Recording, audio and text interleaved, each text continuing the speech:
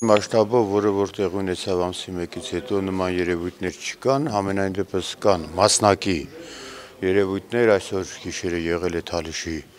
շրջանում եւ մեկ զոթողներով նորից հետ են շփոթվել, Վարդենիսում եղել են որոշակի անհանգստություններ, ոչ այդպես massայական,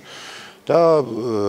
ժամը 12-ից հետո, ամսինգի 12-ից հետո այդ երևույթների նեգատիվ նկատվել են, ամենայն դեպս այն մասշտաբի չէ, որը շատ մեծ անհանգստություն կարող է պատճառել։ Ու մենք որևէ մեկ անգամ չենք վստահել մեր ճշնամուն, որովհետև անկանխատեսելի է եւ մեր բանակը միշտ զգոն է եւ ինչպիսի զինադադար լինի, մենք միշտ պետք է պատրաստ լինենք հակահարձակման եւ պատասխան տալու։ Կան նման երևույթներ, որը մենք չենք շղթում։ Սերժ Սարգսյանը Գերմանիայում հայտարարեց, որ մենք կռվում ենք 1980 թվականի զենքերով, փաստացի Հայաստանը ունի զենքի խնդիր, հա։ Ես չի ցանկանա այդ հարցը մեկնաբանեմ, որովհետև դա Ես ուզում եմ նպատակարմարի այդպես։ Հայաստանում իշխանությունները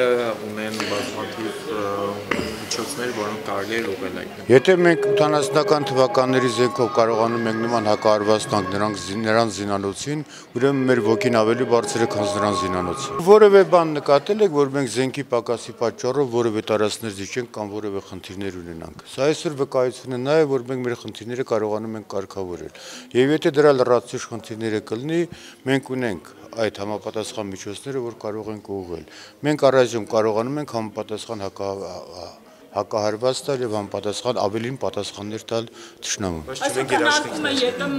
նիստին Նիկոլ Ամենի մասնակցության հարց ինքը դեռևս չի որ։ Ըստ ձեզ ճիշտը որն է մասնակցի Աբրահամյան եւ Տիգրան Սարգսյան։ Դեպքերից առաջ մեկնի այսօր պաշտոնական այցով վարչապետը Ռուսաստանի Դաշնության կլինի Հայաստանում, նաեւ այդ հարցը քննարկվում մենք ձեզ լրացիչ տեղեկություն կտանք։ Ինչ է արվում, որպեսզի Ղարաբաղը դառնա բանակցային կողմ։